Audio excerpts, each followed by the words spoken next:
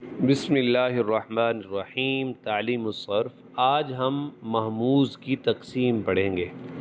محموز کی تین قسمیں ہیں۔ نمبر ایک، محموز الفا، نمبر دو، محموز العین، نمبر تین، محموز اللام۔ نمبر ایک، محموز الفا۔ وہ محموز ہے جس کے میزان کے فا کلمے کے مقابلے میں حمزہ آ جائے۔ جیسے، اجلن، بروزن۔ فعل ایسے ہی امرا بروزن فعل تو محموز کے بارے میں ہم نے پڑھا تھا کہ جس کے حروف اصلیہ کے مقابلے میں حمزہ آ جائے، تو اگر فا کلمہ میں آئے جو، آ جائے تو وہ ہوتا ہے محموز الفا۔ نمبر دو، محموز العین۔ وہ محموز ہے جس کے میزان کے عین کلمے کے مقابلے میں حمزہ ہو۔ جیسے ذئبن بروزن فعل، ایسے ہی سعلا بروزن فعلا نمبر تین، محموز اللام۔ وہ محموز ہے جس کے میزان کے لام کلمے کے مقابلے میں حمزہ ہو، جیسے مرا بر وزن فعلا یا مرعن فعل، ایسے ہی قرآ فعلا۔ جی اس کے بعد ہم پڑھتے ہیں مضاف مضاف کی تقسیم۔ مضاف کی تعریف ہم نے پڑھ لی تھی کہ جس میں دو حرف حروف اصلیہ میں ایک جیسے آ جائیں۔ مضاف کی دو قسمیں ہیں۔ نمبر ایک مضاف ثلاثی، نمبر نمبر ایک مضاف ثلاثی، نمبر دو مضاف رباعی۔ ثلاثی وہ مضاف ہے جس میں میزان کے آئین اور لام کلمے کے مقابلے میں دو حروف صحیحہ ایک جیسے ہوں۔ جیسے جدہ بر وزن، فعل مدہ بر وزن فعلا تو جدہ اصل میں تھا جادہ دا مدہ تھا مادہ دا تو یہ لام اور عین کلمہ یعنی یہ آخر والا جو ہے اس میں دونوں، پہلے میں دال آیا، دوسرے میں بھی دال، تو دونوں حروف ایک جیسے آ گئے اور یہ تین حرفی ہے، تو اس کو کہتے ہیں مضاف ثلاثی۔ نمبر دو، مضاف رباعی۔ وہ مضاف ہے جس کے میزان کے فا اور لام اول اور عین اور لام دوم کے مقابلے میں یعنی یا تو فا اور لام اول گئے یا عین اور لام دوم کے مقابلے میں دو حروف صحیحہ ایک جیسے ہو جائیں۔ جیسے بل بل بر وزن فعل ایسے ہی زلزلہ بر وزن فعللا تو اس کو مضاف رباعی کہتے ہیں۔ اس کے بعد ہم نے معطل کو پڑھا تھا، تو معطل کی تقسیم کیا ہے کہ معطل کی چار قسمیں ہیں۔ نمبر ایک مثال، نمبر دو اجوف نمبر تین ناقص اور نمبر چار لفیف۔ نمبر ایک، مثال۔ وہ معطل ہے جس میں میزان کے فا کلمے کے مقابلے میں حرف علت آ جائے۔ اس کو معطل الفا بھی کہتے ہیں، جیسے وردن بروزن فعلن یا وعدہ فعلا تو یہ مثال ہے۔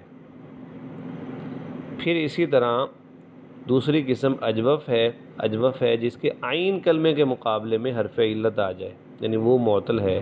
اس کو معطل العین بھی کہتے ہیں، جیسے عودن یہاں دیکھیں واؤ عین کلمے کے مقابلے میں آ رہا ہے، بروزن فعل، ایسے ہی عاویرہ، بروزن فاعلہ، ناقص۔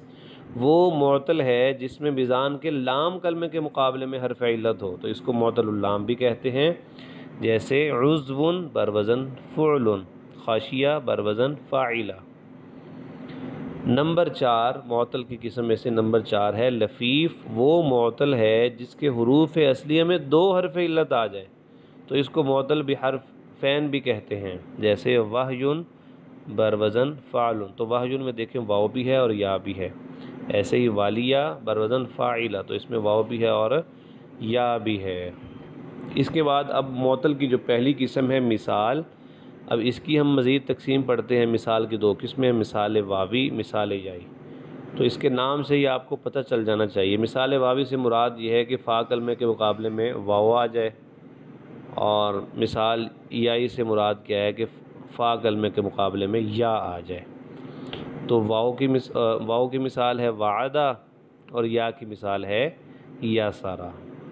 اس کے بعد اجوف کی تقسیم۔ اجوف کی دو قسمیں ہیں، ایک ہے اجوف واوی اور ایک ہے اجوف یائی۔ اجوف اجوف واوی سے مراد بھی یہی ہے کہ جسے آئین کلمے کے مقابلے میں واؤ آ جائے، جیسے قول اور یائی سے مراد ہے کہ آئین کلمے کے مقابلے میں یا آ جائے، جیسے بیع تو اس کو اجوف یائی کہتے ہیں۔ پھر اس کے بعد ناقص کی تقسیم ہے۔ ناقص کی بھی اسی طرح کی دو قسمیں ہیں۔ ناقص واوی اور ناقص یائی ناقص واوی وہ ناقص ہے جس میں میزان کے لام کلمے کے مقابلے میں واؤ آ جائے، جیسے رخون۔ اور یہی ہے کہ جس میں لام کلمے کے مقابلے میں یا آ جائے، جیسے رم یون یا خاشیہ وغیرہ۔ پھر اس کے بعد ہم لفیف کی تقسیم پڑھتے ہیں۔ لفیف کی دو قسمیں ایک ہے لفیف مقرون اور ایک ہے لفیف مفروق۔ لفیف مقرون وہ لفیف ہے جس میں میزان کے عین اور لام کلمے کے مقابلے میں حرف علت ہو، جیسے طی، بروزن طیون، بروزن فعلن، طیون اصل میں تھا قویون قویہ ایسے ہی بروزن فاعلہ، یہ اس کی دوسری مثال ہے۔ تو یہاں دو آ رہے ہیں اور ایک عین اور لام کلمے کے مقابلے میں۔ یہ ہے لفیف مقرون۔ لفیف مفروق۔ وہ لفیف ہے جس میں میزان کے فا اور لام کلمے کے مقابلے میں حرف علت ہو، جیسے واحیون بروزن فعلن ایسے ہی والیہ، بروزن فاعلہ یعنی شروع اور آخر میں آئے یعنی کٹھے نہ آئے دوسرے الفاظ میں۔ تو اس کو کہتے ہیں لفیف مفروق دونوں میں فرق ہو، دونوں حرف علت میں، اور مقرون ملے ہوئے ہوں۔ تو امید ہے آج کی یہ یعنی وہ اصطلاحات جو علم الصرف کا یا تعلیم الصرف کا لازمی جز ہیں، ان کے بغیر شاید کہ علم الصرف کو سمجھنا اور ان کے قواعد کو سمجھنا بہت زیادہ مشکل ہے۔ تو آج کا سبق ہمارا بہت زیادہ اہم تھا۔ تو ان اصطلاحات کو اچھے طریقے سے یاد کریں۔ اگر یہ یاد ہوں گی تو آگے ہمیں کتاب سمجھنے میں یا علم الصرف سمجھنے میں بہت زیادہ آسانی ہوگی۔ جزاکم اللہ خیرہ